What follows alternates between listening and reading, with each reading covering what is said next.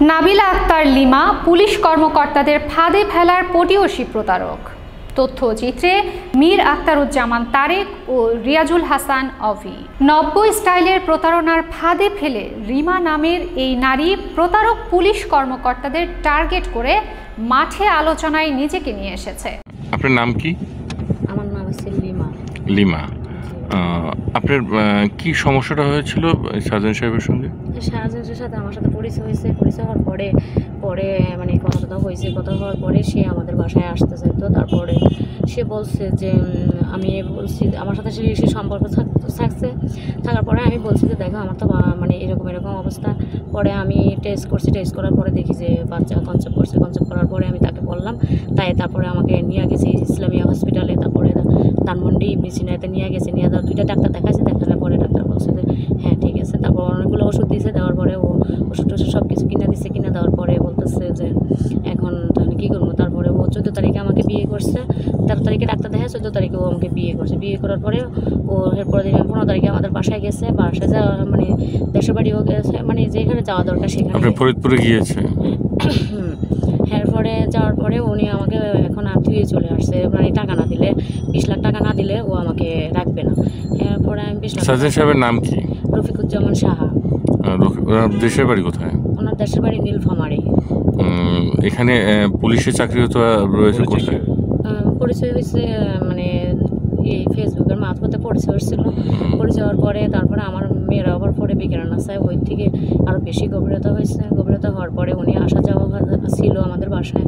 যাওয়ার পরে তারপরে ওনার সাথে সম্পর্ক ছিল। তারপরে আমার হাজব্যান্ড আগেরটা মারা গেছে। এরপর মারা যাওয়ার পরে তা তার সাথে আমার সাথে সম্পর্ক হয়েছে। হওয়ার পরে তারপরে ইনি এখন এরকম করতেছে বিয়ে সাথে কইরা এখন। এই বিষয়টা কি আপনি কোনো মামলা করেছেন বা হ্যাঁ আমি মামলা করেছি। কোথায় মামলা করেছেন? মামলা করছি আমাদের শরীয়তপুরে। কোর্টে? জি হ্যাঁ। একটা হয়েছে নারী যৌতুক মামলা করছি। ওটা বলি না ওটা তো মানে নারী শিশু মামলা। এখন সে সেটা সে কি কোর্টে হাজির হয়েছিল? হ্যাঁ কোর্টে আপোষ সাথে চাবিন চাইছে। আপোষ সাথে চাবিন আছে বলছে আমার সাথে আপোষ আমার সাথে আপোষ করব তার জন্য চাবিন দিছে জজ সাহেব।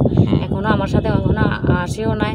আর আমি ও ওর সাথে ফোনে কথাও হয় না কিছু হয় না। উনি আমাকে এখন মানে ওর জামিন আছে পুরো এই তো বিশ দশ বারো দিন হয়ে মানে দশ বারো দিন হয়ে গেছে।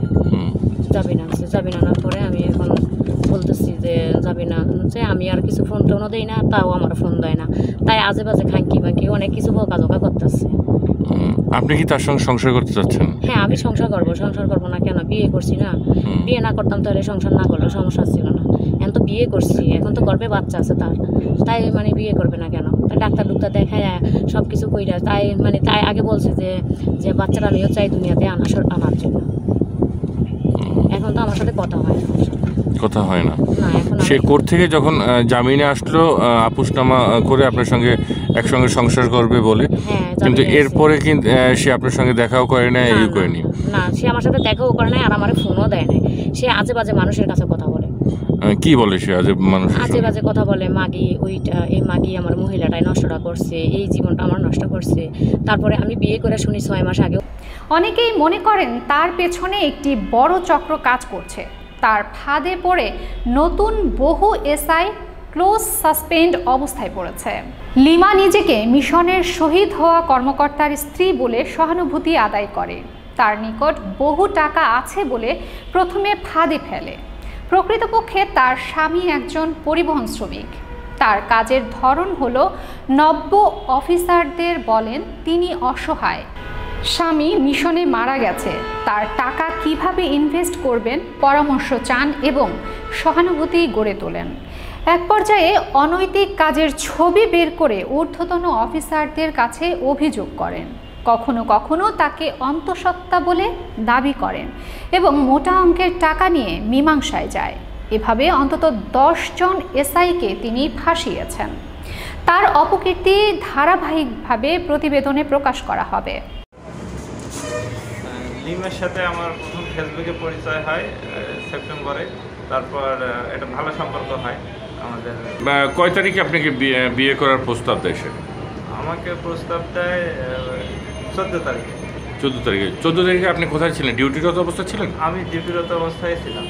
তো এখান থেকে আপনাকে নিয়ে যাওয়া হয় জোর করে? আর কি নিয়ে যাওয়া হয়। বারবার ফোন দিয়ে লোকজন দিয়ে আর কি জোর করে নিয়ে যায় আহ, ওই লিমার দেশের বাড়ি কোথায়? আপনি কি জানেন? শরীয়তপুর। শরীয়তপুর। সে আপনাকে বলেছে শরীয়তপুরে। তো ওনার হাজবেন্ড যে পুলিশে চাকরি করতো সেই বিষয়ে কি আপনি জানেন? এটা আমি জানি না তার মুখে শুনছি পরে। শুনেছেন কিন্তু আপনি এটা আমি এভিডেন্স আপনি দেখেননি। আর দ্বিতীয়ত হলো গিয়ে আপনি ওর যে বাসায় যে বাচ্চা দুটো রয়েছে এর আগে কি আপনি দেখেছেন কি না না এর আগে আমি দেখি নাই। এর আগে দেখেননি? বা সে বলেও না আপনার কাছে? না। এবং সে এই যে কাবিনে সে লিখেছে সে কুমারী। কুমারী। হ্যাঁ, আসলে আপনি বাসায় গিয়ে যখন দেখেছেন তখন দেখতেছেন দুইটা বাচ্চা রয়েছে। পরবর্তীতে যখন আমি বাসায় যাই পরে দেখি যে দুইটা বাচ্চা।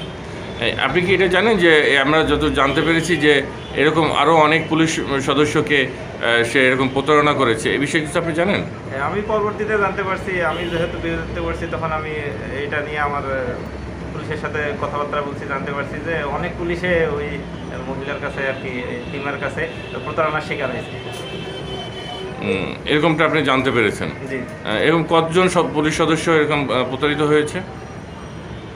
আমি সঠিক সংখ্যাটা জানি না তবে পনেরো বিশ জন এরকম হবে। আপনি তো শরীয়তপুরে তার বাড়িতে কখনো গিয়েছেন? জি না জানি না। ওকে ধন্যবাদ। তৃতীয় পর্বে প্রকাশ করা হবে চোখ রাখুন দেশ নিউজ টিভির পর্দায়। Farhan Ahmed news desk Desh news TV.